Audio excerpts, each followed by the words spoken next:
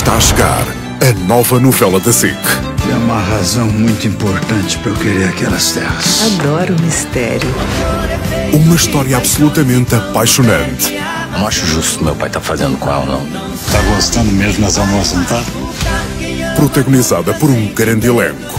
É babado forte, babado dos bons. Terra e paixão. A esperança é uma semente. Brevemente na SIC.